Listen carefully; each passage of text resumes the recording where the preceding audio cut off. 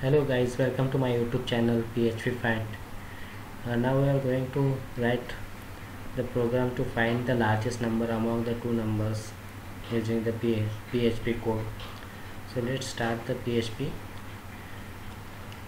so for that we need to write the start the php script php and uh, take the two variables number one with the value equal to 20 and dollar number 2 with value equal to 10 so to check the numbers we have to write the uh, if condition. So in that if condition we need to check if the number is number 1 is greater than number 2 in that case the number 1 is the greatest or else the number 2 is the greatest. So we can write that uh, like if dollar number 1 is greater than dollar number 2 then in this case echo dollar number 1 is the greatest number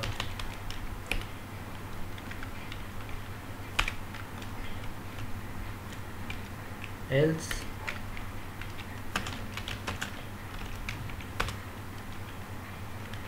Echo dollar number 2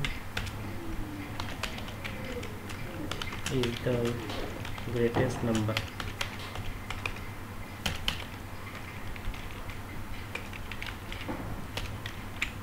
So now let's run the program.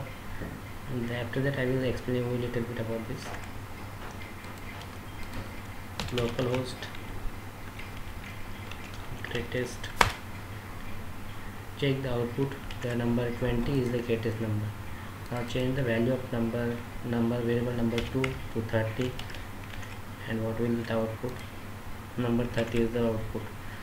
So in this what we write in the condition if the number 1 value is greater than number 2 then definitely number 1 is the greatest number. Else the number 2 is the greatest. I hope friends you like this video. Please share like and subscribe the channel. Thank you